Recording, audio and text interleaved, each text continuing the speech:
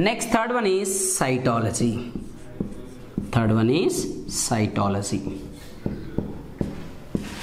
So, the meaning of cytology is chitos. Chitos means cells. Next one is logos. As we know, what is the meaning of logos? Study or knowledge.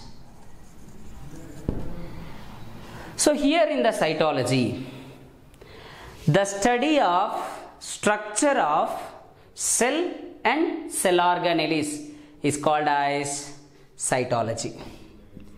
Sir, in the cytology, what we are studying? Structure of cell and cell organelles. The study of various types of cell organelles as well as cell is called as cytology.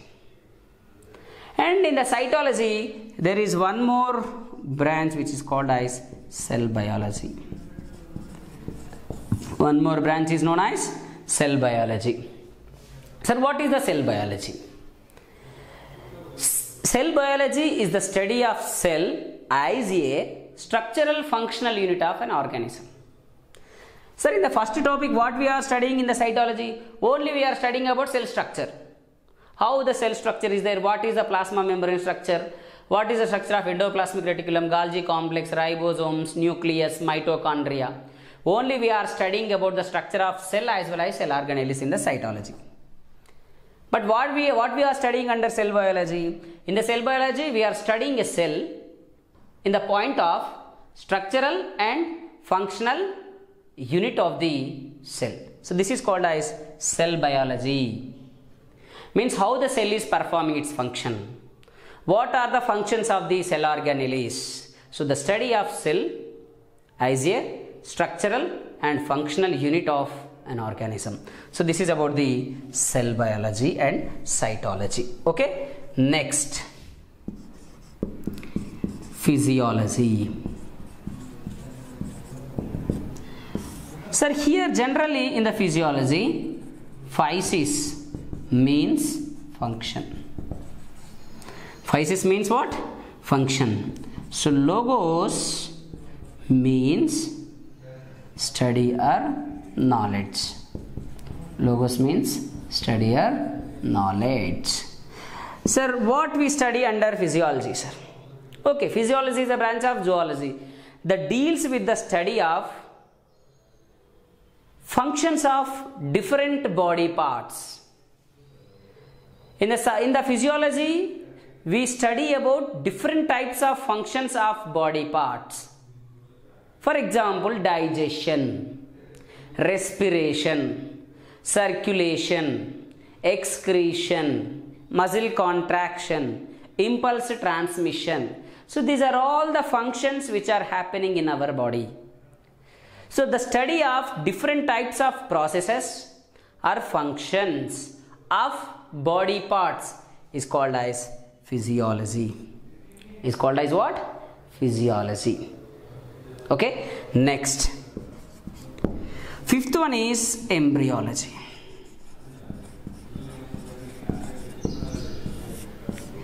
Fifth one is embryology. Okay. So William Harvey can be considered as father of physiology.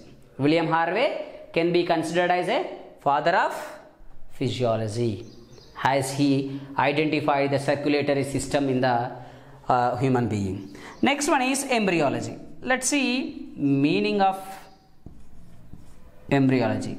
So embryos means fetus. Embryo means what? Fetus. Logos means study or knowledge. What is the meaning of logos? Study or knowledge. So here in the embryology, it deals with the study of the activities or the things which led to the formation of gametes. In embryology, we study about formation of gametes. Next one is fusion of gametes. Fusion of gametes and formation of zygote. Early growth. Early growth and differentiation and differentiation so here in the embryology that deals with the study of events different types of events that led to the formation of gametes formation of male and female gametes fusion of gametes so fusion and male, uh, male and female gametes. Then formation of zygote early growth. So how the morula blastula gastrula are formed that is early growth. Next differentiation of the zygote to the embryo. Differentiation of the zygote to the embryo is called as embryology. Simply the study of events of formation of gametes fertilization. Next zygote formation early growth differentiation of zygote to the embryo is called as embryology.